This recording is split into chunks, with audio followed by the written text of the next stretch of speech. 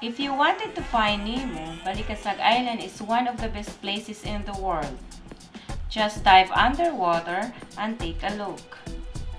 Nemo fish are everywhere, paired with symbiotic sea anemones. The Ocellaris clownfish has several names, including common clownfish, western clown anemone fish, and false percula clownfish.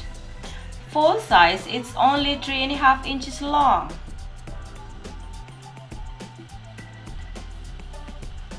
At night, it can be hard to find a spot to sleep, but it's always cozy under the sea at Balikasag Island.